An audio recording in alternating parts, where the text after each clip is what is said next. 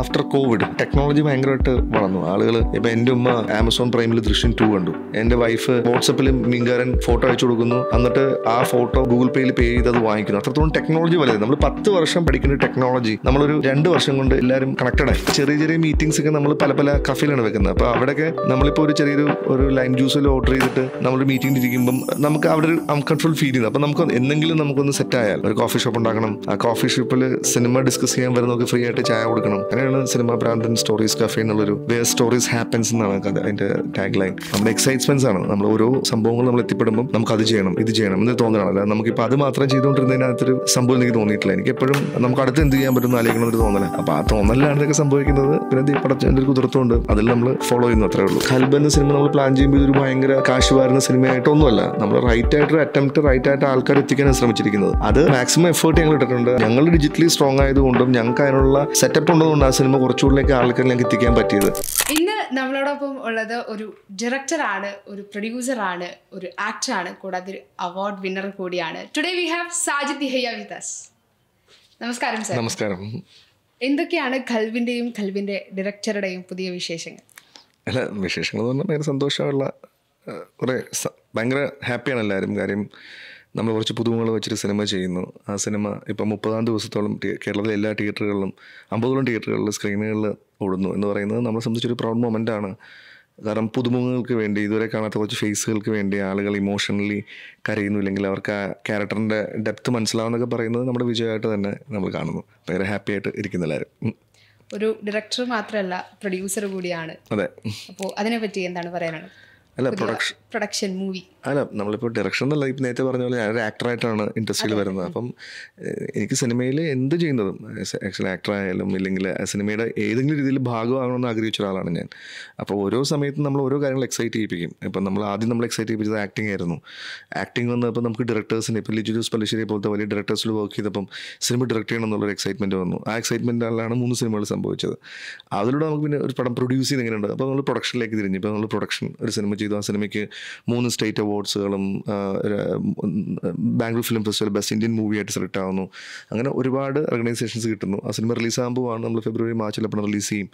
അപ്പം അങ്ങനെ നമ്മുടെ നേരത്തെ പറഞ്ഞല്ലോ നമ്മുടെ എക്സൈറ്റ്മെന്റ്സ് ആണ്. നമ്മൾ ഓരോ സംഭവങ്ങൾ നമ്മൾ എത്തിപ്പെടുമ്പം നമുക്ക് അത് ചെയ്യണം ഇത് ചെയ്യണം എന്ന് തോന്നണം അല്ല നമുക്കിപ്പോൾ അത് മാത്രം ചെയ്തുകൊണ്ടിരുന്നതിനകത്തൊരു സംഭവം എനിക്ക് തോന്നിയിട്ടില്ല. എനിക്ക് എപ്പോഴും നമുക്ക് അടുത്ത് എന്ത് ചെയ്യാൻ പറ്റുന്ന ആലോചിക്കണം എന്നൊരു തോന്നല. അപ്പോൾ ആ തോന്നലിലാണ് ഇതൊക്കെ സംഭവിക്കുന്നത്. പിന്നെ ഈ പടച്ചതിന്റെ ഒരു കുതിർത്തുണ്ട് അപ്പം അതിൽ നമ്മൾ ഫോളോ ചെയ്യുന്നു അത്രേ ഉള്ളൂ. എന്താണ് അക്കോർഡിംഗ് ടു ഒരു ഫിനാൻഷ്യൽ ഇൻഡിപെൻഡൻസ് എന്ന് പറയുന്നൊരു ഫിനാൻഷ്യലി എനിക്ക് അങ്ങനെ ഒരു തോട്ട് പ്രോസസ്സുള്ള ആളല്ല ഞാൻ. ഭയങ്കര അങ്ങനെ ഒരു ഭയങ്കര പ്ലാൻ ചെയ്ത് ഒരു കാര്യങ്ങൾ ചെയ്യുന്ന ഒരാളല്ല ഞാൻ. ഒരു കാര്യവും ഞാൻ പ്ലാൻ ചെയ്ത് ചെയ്യാറില്ല. അപ്പോൾ എന്നെ അറിയാവുന്ന എല്ലാവർക്കും അറിയാം. അപ്പം ഇതെല്ലാം നമ്മൾ എത്തിപ്പെടുന്ന കാര്യങ്ങൾ റൈറ്റായിട്ട് ചെയ്യുക അതിന്റെ പുറകെ ഓടുക എന്നുള്ളതാണ്. അപ്പം ഇപ്പോൾ ഫിനാൻഷ്യലി എന്ന് പറയുമ്പോൾ എനിക്ക് ആ ആ- സൈഡിൽ ഞാൻ ഭയങ്കര വീക്കാണ് കാര്യം നമുക്കൊരു അങ്ങനെ കറക്റ്റായിട്ട് ഇങ്ങനൊരു സംഭവം വെച്ച്. അപ്പോൾ അതിന് അതിനായിട്ടുള്ള കുറേ ആളുകളെ നമ്മൾ നമ്മുടെ കൂടെ നിർത്തും. നമ്മൾ വീക്ക് എന്നെ സംബന്ധിച്ചോളം ഞാൻ ഇവിടെ എന്ത് വീക്കാന്ന് തോന്നിക്കഴിഞ്ഞാൽ അവിടെ എനിക്ക് സപ്പോർട്ട് ചെയ്യാനുള്ള അക്കൗണ്ട്സ് ഡിപ്പാർട്ട്മെന്റ് ആണെങ്കിലും ഇല്ലെങ്കിൽ ഫിനാൻഷ്യൽ മാനേജ് ചെയ്യാനുള്ള മാനേജേഴ്സ് ആണെങ്കിലും അങ്ങനൊരു ഒരു അതിൽ എക്സ്പേർട്ട് ആയിട്ടുള്ള ആളുകളെ പ്ലേസ് ചെയ്യാന്നുള്ളതാണ് ഞാൻ യൂസ് ചെയ്തിട്ടുള്ള ടെക്നിക്കൽ ലൈഫിൽ അപ്പം എന്റെ എല്ലാ അക്കൗണ്ട്സ് ട്രാൻസാക്ഷൻസും എന്റെ എല്ലാ ഫിനാൻഷ്യൽ സ്റ്റേറ്റ്മെന്റും നോക്കാൻ എനിക്ക് എന്റെ ആയിട്ടുള്ള ആളുകളുണ്ട്. അവർ വഴിയാണ് അത് ഞങ്ങൾ ഡീൽ ചെയ്യുന്നത്. ഒരു ഡയറക്ടറാണ് പ്രൊഡ്യൂസറാണ് അപ്പോൾ ചോദിക്കാൻ പറ്റിയ ഒരാളാണ് ഈ ഒരു ക്വസ്റ്റ്യൻ ചോദിക്കാൻ പറ്റിയ ഒരാളാണ്. ഒരു പ്രൊഡ്യൂസറിനെ ഹെൽപ്പ് ചെയ്യാനായിട്ട് ഒരു ഡയറക്ടർക്ക് എന്തൊക്കെ ചെയ്യാൻ പറ്റും?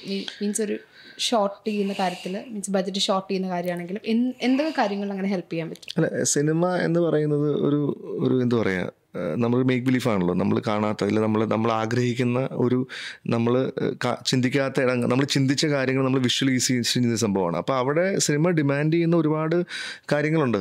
ഇപ്പോൾ പണ്ട് നമ്മളൊരു സിനിമ കാണുന്നത് എങ്ങനെയാണ്? അന്ന് ഇപ്പം പണ്ട് ഫാസിൽ സാറിന്റെ സിനിമകളിൽ ശോഭന ചേച്ചി കൊടുത്ത സാരി ഇല്ലെങ്കിൽ ചുരിദാർ അന്ന് ട്രെൻഡാണ് അടുത്ത ഒരു ഫെസ്റ്റിവൽ സീസണിൽ ഏറ്റവും കൂടുതൽ സെയിലാകുന്ന ആ ഡ്രസ്സുകളാണ്.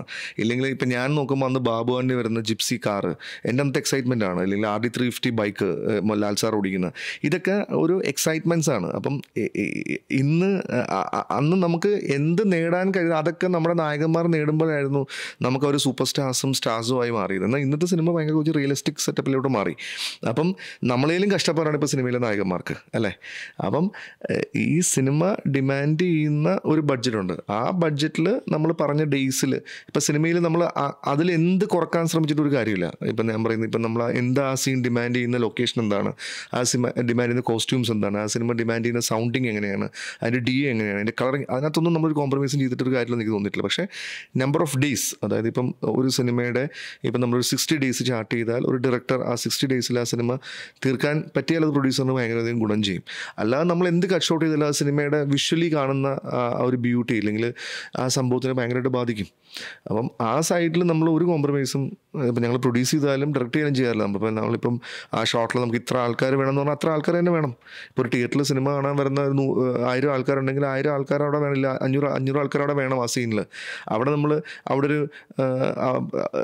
ബഡ്ജറ്റ് കുറക്കാമെന്ന് ചോദിച്ചാൽ അമ്പത് രൂപ ആക്കി കഴിഞ്ഞാൽ ആ സീനിനെ അത് ഭയങ്കരമായിട്ട് ബാധിക്കും. മനസ്സിലായില്ലേ? ആ സൈഡിനപ്പുറം അതിനപ്പുറം നമ്മൾ പ്രോപ്പറായിട്ട് നമ്മളിപ്പം നേരത്തെ പറഞ്ഞ പോലെ നമുക്ക് ഷാർപ്പ് ടൈം നമ്മൾ സിക്സ് ഒ ക്ലോക്ക് ചാർട്ട് തുടങ്ങിക്കഴിഞ്ഞാൽ നമ്മൾ സെവൻ ഒ ക്ലോക്കിൽ ഫസ്റ്റ് ഷോട്ട് ചെയ്യാൻ പറ്റുക. ഇല്ലെങ്കിൽ പ്രോപ്പറായിട്ട് പ്ലാൻ ചെയ്ത സീക്വൻസുകൾ തീർക്കാൻ പറ്റിയാൽ അതാണ് ബഡ്ജറ്റ് കട്ട് ഓഫ് ചെയ്യാൻ ഇല്ലെങ്കിൽ ഒരു പ്രൊഡ്യൂസറിനെ സപ്പോർട്ട് ചെയ്യാൻ ഏറ്റവും വലിയൊരു സംഭവമായിട്ട് പിന്നെ നമ്മൾ പറയുന്ന ടെക്നിക്കൽ എക്യുപ്മെന്റ്സ് ആണെങ്കിലും നമ്മൾ പറയുന്ന ഏതാണ് എക്യു എന്ത് എക്യുപ്മെന്റ്സ് ആണെങ്കിലും അത് എടുത്തു കഴിഞ്ഞാൽ അത് യൂസ് ചെയ്യുക എന്നുള്ളതാണ്. ഇപ്പം നമ്മളിപ്പോൾ ഒരു ഒരു ഷോട്ട് എടുക്കാൻ വേണ്ടി ഒരു സംഭവം വന്നതിന് അത് ആ ഷോട്ട് അന്ന് എടുത്തത് ബാലൻസ് ചെയ്യാൻ അങ്ങനെ കുറേ കാര്യങ്ങൾ നമുക്ക് ചെയ്യാൻ പറ്റും. അതെല്ലാം ബഡ്ജറ്റിന് ഒരു ഒരു പരിധിവരെയെങ്കിലും അത് സപ്പോർട്ട് ചെയ്യുമെന്ന് വിശ്വസിക്കുന്നു.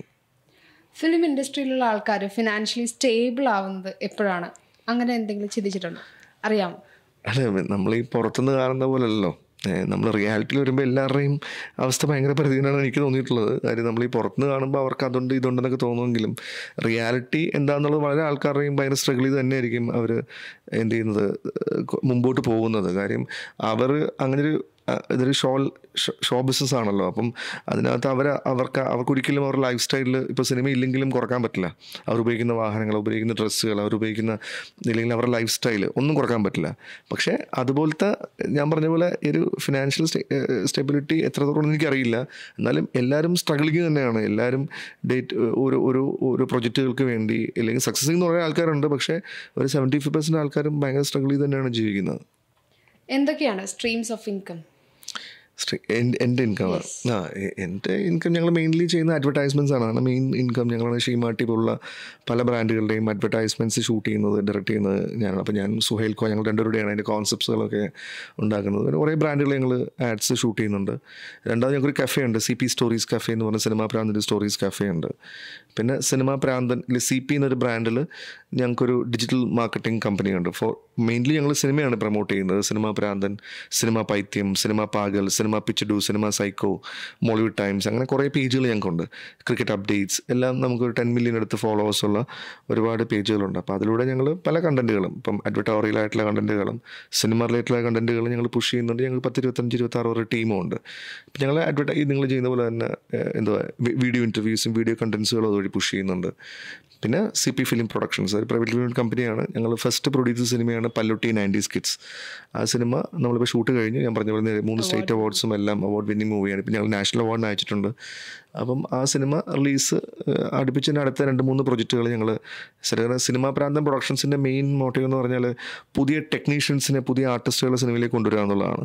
അപ്പം ഇപ്പം പല്ലുട്ടിയിൽ പുതിയ ഡയറക്ടറാണ് പുതിയ ക്യാമറമാനാണ് പുതിയ എഡിറ്ററാണ് പുതിയ സ്ക്രിപ്റ്റ് റൈറ്ററാണ് നാൽപ്പത്തഞ്ചോളം പുതിയ കുട്ടികളാണ് അഭിനയിച്ചിരിക്കുന്നത്. പിന്നെ അത് അർജുന ഷോവിനും ബാലു വർഗീസ് സജീവ് ഗ്രൂപ്പ് ആർട്ടിസ്റ്റുകളാണ്. കാരണം നമുക്ക് ബിസിനസ് ആസ്പെക്ട്സിൽ രണ്ടും മാച്ചായി പോകണം പിന്നെ അതിന്റെ ആർട്ട് സൈഡിലൊക്കെ വർക്ക് ചെയ്തിരിക്കുന്നത് ബംഗ്ലാൻ എന്ന് പറയുന്ന നാഷണൽ അവാർഡ് വിന്നറാണ് പ്രവീൺ വെറും ബിഗ് ബി പോലുള്ള കോസ്റ്റ്യൂം ചെയ്തിട്ടുള്ള പ്രവീൺ. കാരണം നയന്റി കാലഘട്ടം നയന്റീസ് കാലഘട്ടമാണ് സിനിമ സംസാരിക്കുന്നത്. അപ്പം അതിന്റെ ആർട്ടിലും കോസ്റ്റ്യൂംസിലും ഒന്നും യാതൊരുവിധ കോംപ്രമൈസ് ഞങ്ങൾ ചെയ്തിട്ടില്ല. അതായിരിക്കും ഞങ്ങൾ ഇപ്പം ഞങ്ങൾ ഗ്യാപ്പ് ചെയ്തിരിക്കുന്ന മൂന്ന് സ്റ്റേറ്റ് അവാർഡ്സ് എന്ന് വിശ്വസിക്കുന്നു. സി പി സ്റ്റോറീസ് എന്ന് പറയുന്ന ഒരു വെറൈറ്റി പേരാണ് ഒരു കഫയെ സംബന്ധിച്ച്. Story behind C P stories അല്ല സി പി സ്റ്റോർ ഞാൻ പറഞ്ഞില്ല ഞങ്ങൾ ടു തൗസൻഡ് നയനിൽ സിനിമ പ്രാന്തൻ എന്ന് പറയുന്നൊരു സോഷ്യൽ ഒരു ഫേസ്ബുക്കിൽ ഒരു പേജ് തുടങ്ങി. ഓർക്കിട്ടും ഫേസ്ബുക്കിൽ ഒരു പേജ് തുടങ്ങിയിട്ടാണ് ഈ കമ്പനി ഞങ്ങൾ തുടങ്ങുന്നത്. അത് ലൈഫിൽ ഇപ്പോൾ എന്നെ സംബന്ധിച്ചോളം ഒരു എനിക്കൊന്നൊരു അഡ്വർടൈസ്മെന്റ്സ് ആൻഡ് ഇവന്റ് കമ്പനി ഉണ്ട്. അതൊരു ഒരു ചെറിയൊരു ഇഷ്യൂവിൽ പാർട്ണർഷിപ്പ് ഇഷ്യൂവിൽ ഭയങ്കരമായിട്ട് ആയി. അപ്പോൾ നമുക്കൊരു ഓഫീസ് പോലും ഇല്ലാത്തൊരവസ്ഥയിൽ എന്ത് എന്നുള്ള ഒരു സംഭവം ബ്ലാങ്ക് ആയിട്ടിരിക്കുന്ന സമയത്താണ് എന്റെ വളരെ അടുത്ത സുഹൃത്തുക്കളായ സാന്ദ്ര തോമസും വിജയ് ബാബുവും അവരുടെ ഓഫീസിലൊരു സ്പേസ് തന്നു ഇത്രയുള്ളൊരു സ്പേസ് എനിക്ക് തരുന്നത്. അപ്പോൾ അവിടെ എന്ത് ചെയ്യാം? എന്നാലോചിച്ചപ്പോൾ എനിക്ക് തന്നെ സിനിമയാണ് ഏറ്റവും വലിയ ആഗ്രഹം. അപ്പം നമുക്ക് എന്തുകൊണ്ടൊരു ഒരു എന്ത് ചെയ്യുക ഒരു ഡിജിറ്റൽ മാർക്കറ്റിംഗ് സിനിമയിൽ ചെയ്തുകൂടാ. ആ സമയത്ത് ആഷിക്കബു എല്ലാം ഭയങ്കരമായിട്ട് ഈ സോൾട്ട് ആൻഡ് പെപ്പറൊക്കെ ഇറങ്ങുന്ന സമയമാണ്. അപ്പോൾ ആ സമയത്ത് ഓൺലൈൻ ഭയങ്കരമായിട്ട് യൂട്ടിലൈസ് ചെയ്ത ആളുകൾ എന്താണ് പ്രൊഡക്ഷൻ സൈഡിലൊന്നും അത്രയും വിശ്വാസം ആയിട്ടില്ല. എന്നാലും ആളുകളിൽ സിനിമ ഈ സോഷ്യൽ മീഡിയ പോലുള്ള പ്ലാറ്റ്ഫോമുകളുടെ ഇത്രയും ചെറിയ ബഡ്ജറ്റുള്ള മലയാള സിനിമയെ ജനങ്ങൾക്ക് എത്തിക്കാൻ തന്നെ തോന്നി ഞങ്ങൾക്ക് തോന്നിയിട്ടുണ്ടായിരുന്നു. അപ്പോൾ അതിനൊരു ഭയങ്കര ഒരു പേര് വേണം. അപ്പോൾ പേര് നോക്കിയപ്പോൾ എല്ലാവരും ഭയങ്കര ഇംഗ്ലീഷ് പേരുകളാണ് അടിക്കുന്നത്. മൂവി മാൻ മൂവി ടു അങ്ങനെ ഭയങ്കര ഇന്റർനാഷണൽ അഡാപ്ഷൻ കൂടുതൽ അങ്ങനെയായിരുന്നു. അപ്പോൾ അതാണ് ഞങ്ങൾ ഫസ്റ്റ് ഏറ്റവും സിമ്പിളായിട്ട് ക്യാച്ച് ചെയ്തിട്ട് സിനിമ പ്രാന്തൻ എന്നൊരു ക്യാരക്ടറിനെ മേക്ക് ചെയ്തു. അപ്പോൾ ആ ക്യാരക്ടറിന്റെ പോയിന്റ് ഓഫ് വ്യൂലാണ് റിവ്യൂ പറഞ്ഞുകൊണ്ടിരുന്നത്. ഒരു ക്യാരക്ടർ ഞാനൊരു സിനിമയ്ക്ക് പോയി. എല്ലാം അതിന്റെ ന്യൂസ് ഫീഡ്സ് എല്ലാം പോയിക്കൊണ്ടിരുന്നത് ഒരു ക്യാരക്ടർ സംസാരിക്കുന്ന പോലെയാണ്. അപ്പോൾ അതിനൊരു ഡിഫറൻസ് ഉണ്ടാവുമെന്ന് ഞാൻ വിശ്വസിച്ചു. ശരിക്കും അത് വർക്കൗട്ടായി ആ സമയത്ത് പെട്ടെന്നൊരു ബൂം ഓൺലൈനിലുണ്ടായി അത് നമ്മൾ മാക്സിമം നമ്മൾ ടേക്ക് ഓവർ ചെയ്തു. ആ സമയത്ത് ഇറങ്ങിയ ആമേൻ ഹണി ബി കിളിബൂയി അങ്ങനെ ഒരുപാട് സിനിമകളുടെ ഒഫീഷ്യൽ ഡിജിറ്റൽ പാർട്ണറായി അതുമാത്രമല്ല പുറത്തുനിന്ന് വരുന്ന ഹിന്ദി തമിഴ് സിനിമകളുടെ കേരളത്തിലെ ഒഫീഷ്യൽ ഡിജിറ്റൽ പാർട്ണേഴ്സായിട്ട് ഞങ്ങൾ മാറി. അപ്പോൾ പെട്ടെന്ന് പിന്നെ വിജയ് ബാബുവും സാന്ദ്ര ഒരു ഫ്രൈഡേ ഫിലിം ഹൗസ് ഒരു ബാനറിന്റെ സപ്പോർട്ടും കൂടി ആയപ്പം ഈസിലി നമുക്ക് എല്ലായിടത്തും പ്ലേസ്മെന്റ്സ് കിട്ടി. അതിലൂടെയാണ് ഇൻഡസ്ട്രിയിൽ നമുക്കൊരു ഒരു മാർക്ക് ഉണ്ടാക്കാൻ പറ്റുകയും അതിലൂടെ ആർട്ടിസ്റ്റുകളെ പരിചയപ്പെടുകയും അതിലൂടെ എന്റെ ഫസ്റ്റ് സിനിമ ഇടി ജേട്ടനെ വെച്ച് ജയസൂര്യ വെച്ച് ഞാൻ ഫസ്റ്റ് സിനിമ ചെയ്യുകയും അതിനുശേഷം മോഹൻലാൽ മഞ്ജു വാരനെ വെച്ച് മോഹൻലാൽ എന്ന സിനിമ ചെയ്തു. ഇപ്പോൾ ഖൽബിൽ വന്ന് നിൽക്കുന്നു. ഇതാണ് സംഭവം. അതെങ്ങനെയാണ് ഒരു കഫേ ആയി മാറുന്നത്? അല്ല അപ്പം ഞാൻ പറഞ്ഞ സംഭവം എന്ന് പറഞ്ഞാൽ ആ സമയത്ത് ഞങ്ങൾ എറണാകുളത്ത് രണ്ടായിരത്തി ഞാൻ ഞാൻ രണ്ടായിരത്തി എട്ടിലാണ് എറണാകുളത്ത് വരുന്നത്. അപ്പം ആ സമയത്തൊക്കെ ഞങ്ങളൊരു ഞങ്ങളുടെ കൂടുതൽ ഡിസ്കഷൻസ് വലിയ ഓഫീസൊന്നും നമുക്കില്ല. അപ്പം കൂടുതൽ വളരെ ചെറിയ അന്ന് കൊച്ചിയിൽ വളരെ കുറച്ച് കഫേസ് ഉള്ളൂ ഞാനൊരു പേര് പറയുന്നില്ല. അപ്പോൾ അവിടെ നമ്മൾ അത്രയും കാശുമില്ല. അവിടെ പോയി മീറ്റ് ചെയ്യാനോ അവരോട് സംസാരിക്കാനൊന്നും വലിയ കാശുമില്ല. അപ്പോൾ ചെറിയ ചെറിയ മീറ്റിങ്സ് ഒക്കെ നമ്മൾ പല പല കഫേയിലാണ് വെക്കുന്നത്. അപ്പോൾ അവിടെയൊക്കെ നമ്മളിപ്പോൾ ഒരു ചെറിയൊരു ഒരു ലൈം ജ്യൂസിൽ ഓർഡർ ചെയ്തിട്ട് നമ്മളൊരു മീറ്റിംഗിൽ ഇരിക്കുമ്പം അവരുടെ എന്ന് പറഞ്ഞാൽ അവർ അവർ കുറച്ച് കഴിയുമ്പോൾ അവരെയും പറഞ്ഞ കാര്യമില്ല. ഏസീസ് ആണ് എറണാകുളം പോലെ ടൗണിൽ ഭയങ്കര റെന്റ് ഔട്ട് ചെയ്യുന്ന ബിൽഡിങ്സുകളാണ് അപ്പം നമുക്ക് അവിടെ ഒരു അൺകംഫർട്ടബിൾ ഫീൽ ചെയ്യുന്നത് അപ്പം നമുക്ക് എന്തെങ്കിലും നമുക്കൊന്ന് സെറ്റായാൽ ഒരു കോഫി ഷോപ്പ് ഉണ്ടാക്കണം. ആ കോഫി ഷോപ്പിൽ സിനിമ ഡിസ്കസ് ചെയ്യാൻ വരുന്നവർക്ക് ഫ്രീ ആയിട്ട് ചായ കൊടുക്കണം. ഇല്ലെങ്കിൽ അവിടെ പിന്നെ എത്ര നേരം ആൾക്കാർക്ക് ഇരിക്കാൻ പറ്റണം എന്നൊരു തോന്നലുണ്ടായിരുന്നു. അങ്ങനെയാണ് സിനിമ ഭ്രാന്തൻ സ്റ്റോറീസ് കഫേ എന്നുള്ളൊരു വേർ സ്റ്റോറീസ് ഹാപ്പൻസ് എന്നാണ് അതിന്റെ ടാഗ് ലൈൻ അപ്പോൾ അങ്ങനെ ഒരു സ്പേസ് ഞങ്ങൾ ഐഡന്റിഫൈ ചെയ്യുന്നു. മൊത്തം മരങ്ങളാൽ ഉള്ളൊരു സ്ഥലമാണ്. അപ്പോൾ അവിടെ ഞങ്ങളൊരു ബിൽഡിംഗ് കൺസ്ട്രക്ട് ചെയ്തു. മേലെ ഞങ്ങളുടെ ഓഫീസും താഴെ കഫേയും എയ്റ്റി സീറ്റർ കൊച്ചിയിലെ ഏറ്റവും ബിഗ്ഗസ്റ്റ് കഫേ എന്ന് പറയാം. പക്ഷേ ഒരുവിധം അത്യാവശ്യം സെലിബ്രിറ്റീസ് ആണെങ്കിലും ഒരുവിധം കുറേ ആളുകളുടെ ഫുഡ് സ്റ്റെപ്സൊക്കെ ഉള്ളൊരു നല്ലൊരു സ്പേസാണ് നമുക്ക് വന്നിരുന്ന് കാമായിട്ട്. സിറ്റിയുടെ ഹാർട്ട് ഓഫ് ദ സിറ്റി ആണെങ്കിലും ഒരിക്കലും നമ്മളൊരു ബഹളമൊന്നുമില്ല. കുറച്ച് നേച്ചറൊക്കെ ആയിട്ട് ഭയങ്കരമായിട്ട് കണക്റ്റഡ് ആയിട്ടുള്ള ഒരു ഡിസൈനൊക്കെയാണ് ചെയ്തിരിക്കുന്നത്. അവിടെ അത്യാവശ്യം ഇറ്റാലിയനും ആദ്യം ഇറ്റാലിയൻ ഫുഡ് തുടങ്ങിയത്. പിന്നെ നമ്മൾ ഇന്ത്യൻ ഡിഷസ് ഒക്കെ ആഡ് ചെയ്തിട്ടുണ്ട്. പിസ അങ്ങനെ ഒരുമാതിരിപ്പെട്ട എല്ലാ ഡിഷസും അവിടെ ഉണ്ട്. അപ്പോൾ അതിന്റെ ഓരോ ദിവസങ്ങളും അതിന്റെ ഓരോ പരിപാടികൾ ചെയ്തുകൊണ്ടിരിക്കുന്നു. എല്ലാ മനുഷ്യന്റെയും ജീവിതത്തിൽ ഒരു ഫിനാൻഷ്യലി സ്ട്രഗിൾ ചെയ്യുന്ന ഒരു പീരീഡ് ഓഫ് ടൈം ഉണ്ടാവും അങ്ങനെ പേഴ്സണൽ ലൈഫിൽ എപ്പോഴെങ്കിലും അങ്ങനെ ഇപ്പോഴും സ്ട്രഗിൾ ചെയ്തുകൊണ്ടിരിക്കുകയല്ലേ? അങ്ങനെയാണ്. അങ്ങനെ ഒരു ഒരു എനിക്ക് തോന്നിയിട്ടില്ല. എനിക്ക് ഞാൻ കണ്ടിട്ടില്ല. എല്ലാം തികഞ്ഞ് നിൽക്കുന്ന ഒരാളെ ഞാൻ എന്റെ ലൈഫിൽ ഇതുവരെ കണ്ടിട്ടില്ല. നമ്മളിപ്പോൾ പുറത്ത് കാണുമ്പോൾ അയാൾക്ക് ഭയങ്കര വലിയ കാറും ഇല്ലെങ്കിൽ അയാളുടെ ഭയങ്കര ഭയങ്കര സെറ്റമൗണ്ടിലും ഒരു രണ്ട് ദിവസം അയാളുടെ അയാൾ പറയുന്നതായിട്ട് നമുക്ക് വിഷമം തോന്നും. മനസ്സിലായില്ലേ? അതാണ് എല്ലാവരുടെയും അവസ്ഥ. ഡെയിലി നമ്മൾ ഓരോ കാര്യങ്ങൾക്ക് വേണ്ടി ഓടിക്കൊണ്ടിരിക്കുകയാണല്ലോ. ഈ ഓട്ടോ ആണല്ലോ ജീവിതം. അപ്പോൾ നമുക്ക് ഈ പറഞ്ഞ പോലെ എല്ലാം ഞാൻ ഫിനാൻഷ്യലി ഭയങ്കര സെറ്റിൽഡ് ആണ്. എന്ന് പറഞ്ഞാൽ ഞാൻ കണ്ടിട്ടില്ല.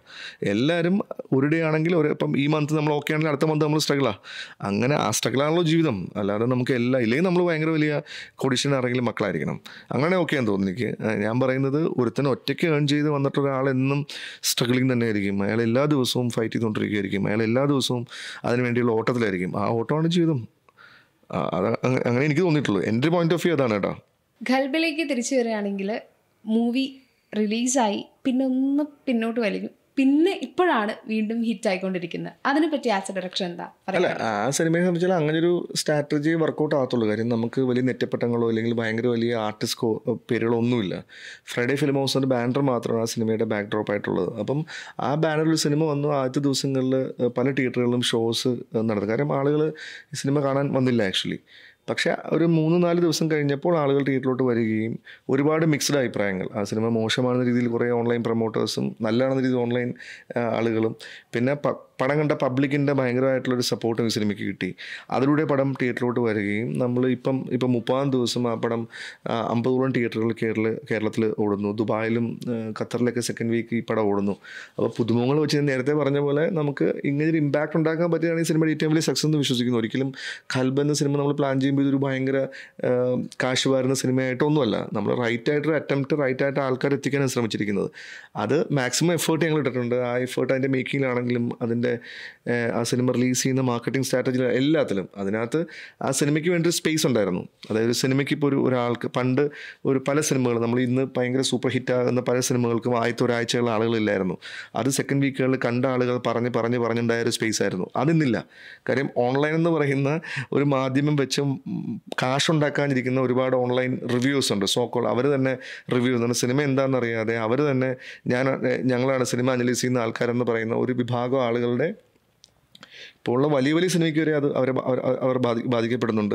അവരെ അന്ധമായി വിശ്വസിക്കുന്ന ഒരു പ്രേക്ഷക സമൂഹമുണ്ട്. അവരായിരുന്നു സിനിമ ആദ്യം കണ്ട് ആ സിനിമ മൗത്ത് പബ്ലിസിറ്റിയുള്ള ഹിറ്റ് ആയിക്കൊണ്ടിരുന്നത് ആ ക്രൗഡിൽ നിന്നില്ല അപ്പം അങ്ങനെ ഒരു സംഭവത്തിലാണ് ആദ്യത്തെ മൂവ്. പക്ഷെ ഞങ്ങൾ ഡിജിറ്റലി സ്ട്രോങ് ആയതുകൊണ്ടും ഞങ്ങൾക്ക് അതിനുള്ള സെറ്റപ്പ് ഉള്ളതുകൊണ്ട് ആ സിനിമ കുറച്ചുകൂടിലേക്ക് ആൾക്കാർ ഞങ്ങൾക്ക് എത്തിക്കാൻ പറ്റിയത്. അതില്ലാത്തൊരു ഡയറക്ടറിനോ ഒരു പ്രൊഡക്ഷൻ കമ്പനിക്കോ എന്ത് ചെയ്യുമെന്ന് എനിക്കറിയില്ല. മനസ്സിലായി? കാര്യം നിങ്ങൾ ആലോചിച്ചു. ഞാൻ പല ഇന്റർവ്യൂലും പറഞ്ഞിട്ടുണ്ട്. നമ്മളൊരു ഹോട്ടലിൽ പോയി ഒരു ബിരിയാണി കഴിച്ചു. ആ ബിരിയാണി നമുക്ക് ഇഷ്ടപ്പെട്ടില്ലെങ്കിൽ നമ്മൾ മാക്സിമം കുളത്തിലെന്ന് പറയില്ല അയാളെ ചീത്ത പറയും. അതാണ് നമ്മൾ ചെയ്യാൻ പോകുന്നത്. അങ്ങനെ ചീത്ത പറഞ്ഞാൽ നമുക്ക് രണ്ടായിരം രൂപ കിട്ടും കിട്ടുവാണെങ്കിൽ ഇപ്പോൾ യൂട്യൂബ് കൊടുക്കുന്ന പോലെ രണ്ടായിരം രൂപ കിട്ടുവാണെങ്കിൽ ലോകത്തുള്ള എല്ലാ ബിരിയാണിയും ഇവിടെ ആളുകൾ ചീത്ത പറയാൻ തുടങ്ങും. കാര്യം ബിരിയാണിയും കഴിക്കാം അവർക്ക് അവർ ചീത്ത രണ്ടായിരം രൂപയും കിട്ടും.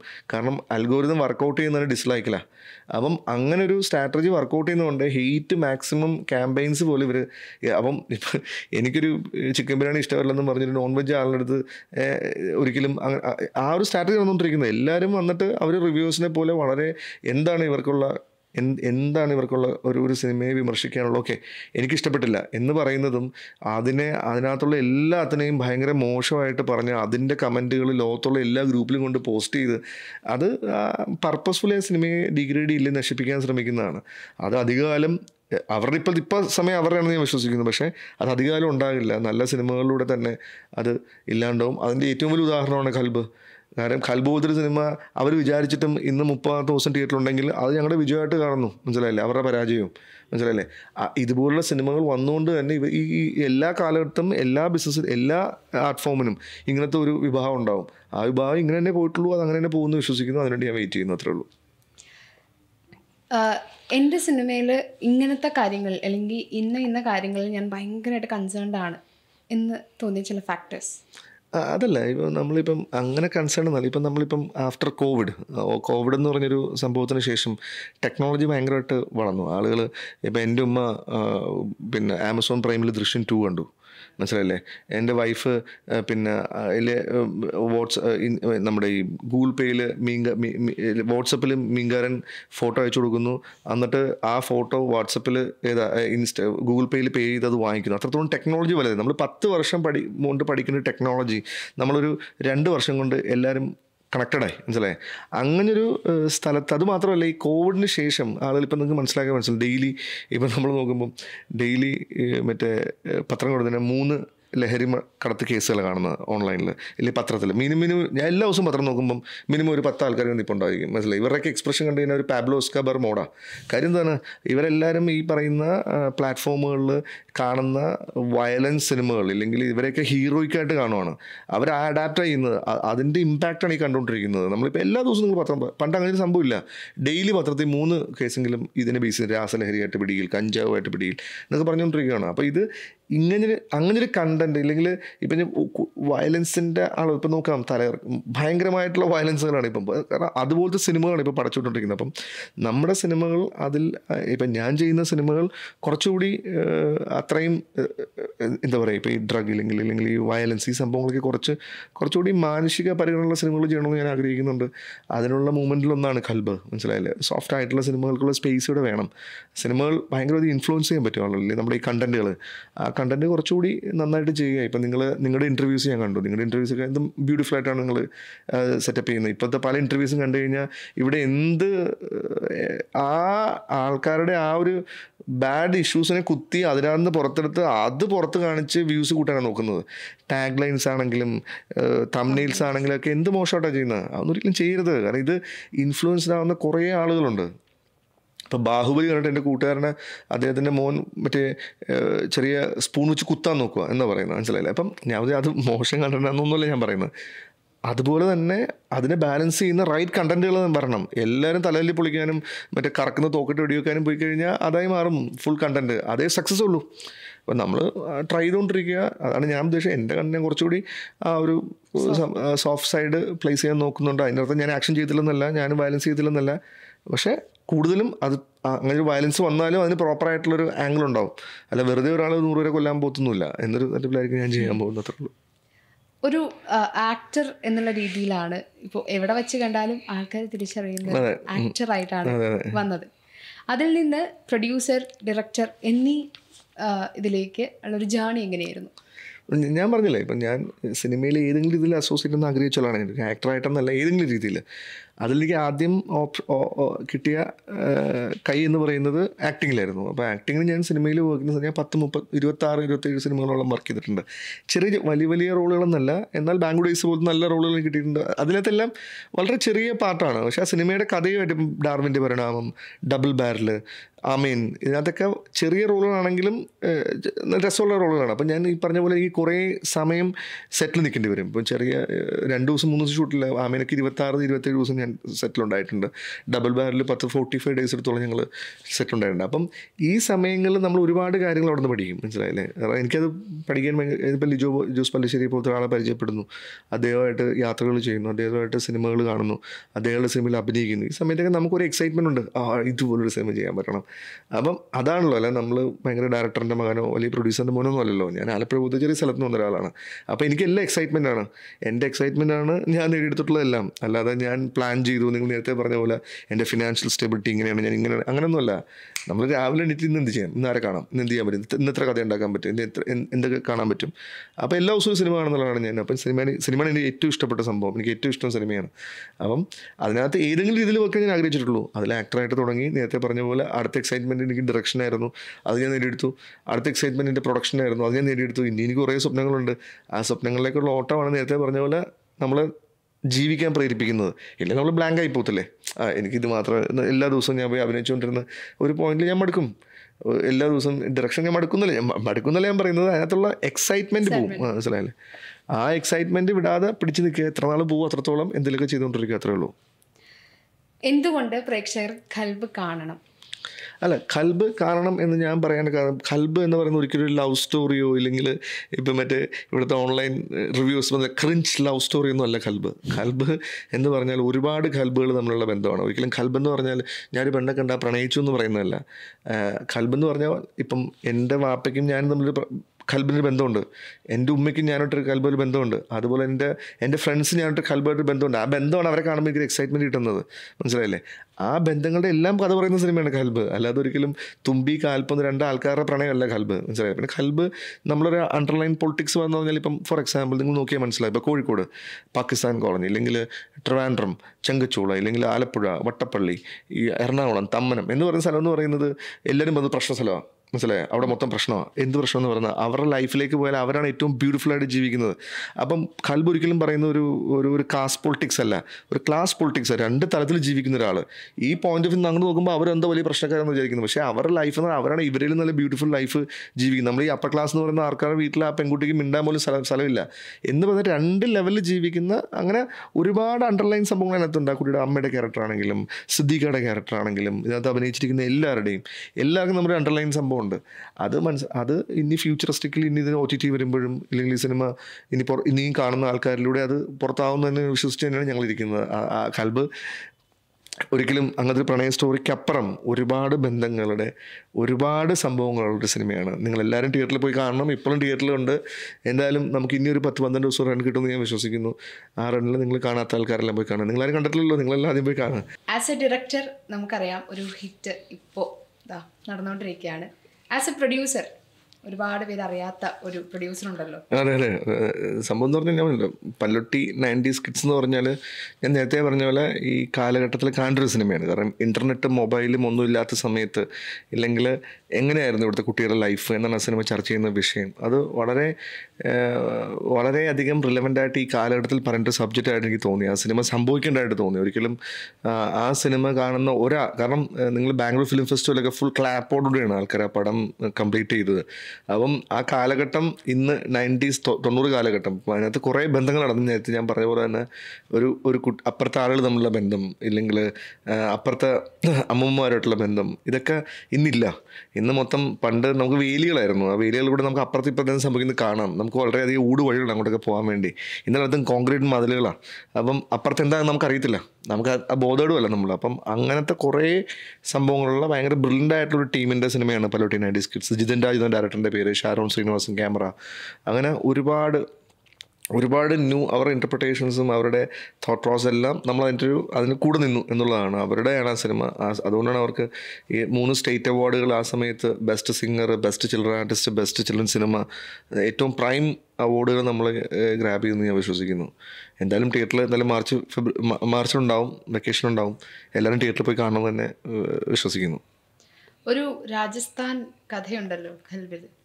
അല്ല രാജസ്ഥാൻ എന്ന് പറയുന്നത് ഞാൻ എന്തുകൊണ്ട് അങ്ങനെ ഒരു പ്ലാൻ ഉണ്ടാക്കി എന്ന് പറഞ്ഞാൽ സാധാരണ ഈ സിനിമയിൽ പതിനെട്ടോളം പാട്ടുകളുണ്ട് കൽബിൽ അപ്പം നമ്മൾ പണ്ട് എന്നും നമ്മൾ സിനിമ കാണുമ്പോൾ എന്നെ എക്സൈറ്റ് ചെയ്യിക്കുന്നത് നായകൻ ലിപ്പിൽ ആ പാട്ട് പാടുമ്പോഴാണ്. എന്ന് പറഞ്ഞാൽ നമ്മളിങ്ങനെ പ്രേംനസി സാറും ഇല്ലെങ്കിൽ എല്ലാവരും പണ്ട് ലിപ്പിലേ പാടത്തുള്ളൂ. അത് നമ്മൾ ഭയങ്കരമായിട്ട് കണക്ട് ആവും. നമ്മൾ സിനിമ കാണുമ്പോൾ നമ്മളോട് ആ പാട് പാടുന്നത് നമുക്ക് ഇപ്പോൾ ഇപ്പോഴത്തെ സിനിമ കുറേ സിനിമ കുറേ നാളുകളായി അങ്ങനെ ലിപ്പിൽ നായകൻ പാട്ട് പാടിയിട്ട് എല്ലാവരും ഭയങ്കര സിറ്റുവേഷൻസ് മാത്രമായിട്ട് മാറി.